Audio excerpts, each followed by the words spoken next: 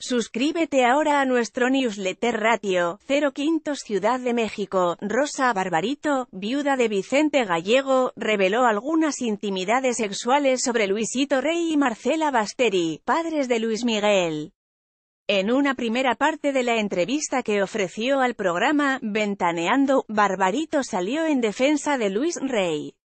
Aseguró que tuvo una infancia muy difícil y que incluso fue secuestrado en Argentina, de donde escapó.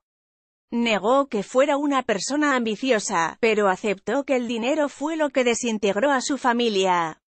En una segunda parte de la entrevista, la tía de Luis Miguel dijo que ella y Vicente Gallego, retratado como el tío Tito, en la serie de El Sol, hacían intercambio de parejas con Luis Rey y Marcela Basteri.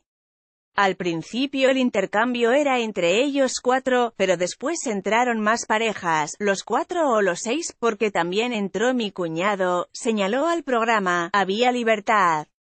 Dijo además que Marcela Basteri tuvo un encuentro sexual con Arturo, el negro, Durazo y fue este quien habló con Emilio Azcárraga para que se le diera una oportunidad a Luis Miguel en Siempre en Domingo.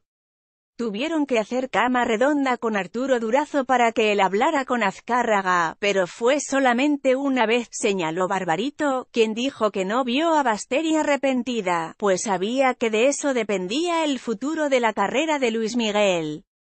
La periodista Claudia de Icaza reveló hace unas semanas que Sergio, el hermano menor de Luis Miguel, es producto de la relación de Basteri con Durazo. El Universal, LMM 10 de junio de 18, EV calificar la nota, 0 rating, yo expreso. Repórtanos por WhatsApp 662-126-2721.